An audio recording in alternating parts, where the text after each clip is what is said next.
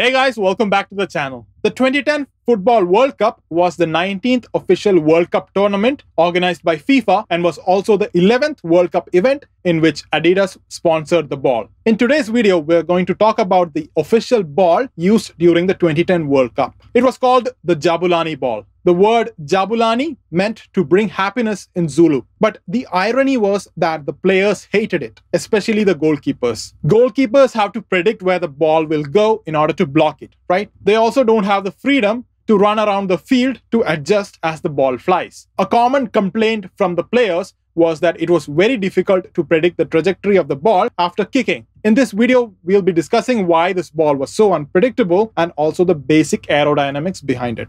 At first glance, a football seems to be a perfectly round sphere, but this is actually not true. There is always a slight offset as it was downright impossible to make a perfect sphere. Conventional footballs are generally made by stitching 20 to 32 pentagon and hexagon panels together. The stitches are also present in the external area of the ball. Well, because of this, the balls generally have deeper grooves on its surface. But this was not the case with the Jabulani ball. The ball was made of eight rubber panels thermally bonded together with internal stitches. Because of this, Adidas was able to manufacture the roundest ball ever made at that time. Due to the lack of external stitches, the ball was also much smoother than conventional balls. Now, you might think since the ball is very smooth, it should be able to travel much faster, right? Well, actually, no, that's not the case here. A heavily textured ball can induce a more turbulent airflow around the ball, which reduces the overall drag. Because of this reduction in the drag, the ball will be able to travel much farther all these statements sound a little bit counterintuitive, right? Don't worry, we'll explain them all in detail. For the purpose of explanation, let's take a golf ball as an example. As a golf ball flies through the air, the airflow around the ball interacts with the surface of the ball and greatly affects the amount of drag. If the golf ball was smooth,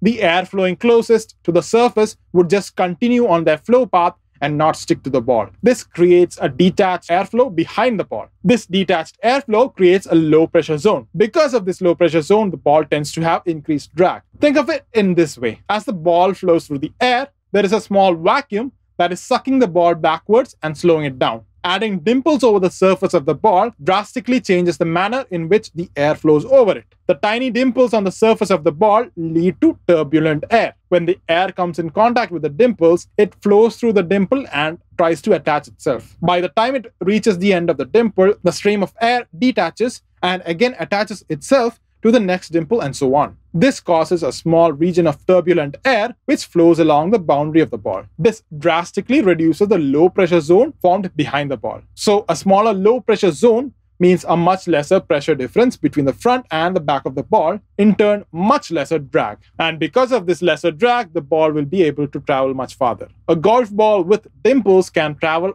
almost twice the distance of a ball without dimples. This is the same reason why the Jabulani was so hated by football players. Due to its high shape accuracy and surface finish, it had a much bigger low pressure zone trailing the ball. A much bigger zone meant more drag, which in turn meant the ball traveled lesser distance. This was also the reason why the trajectory of the ball was unpredictable during long passes and shootouts. The fact that the Jabulani became unpredictable during these long passes really helped Spain when in 2010, the Spanish team relied almost entirely on short, precise passes without long kicks that made the ball unstable. Well, that's it guys. Hope you've enjoyed the video. We'll meet again in the next one. Until then, bye.